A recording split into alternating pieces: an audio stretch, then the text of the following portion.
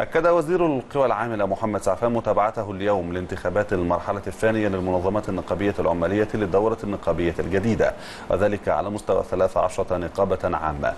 من المقرر أن تعلن نتائج الانتخابات عقب إغلاق الصناديق في الخامسة مساء وفرز الأصوات وإعلان النتائج.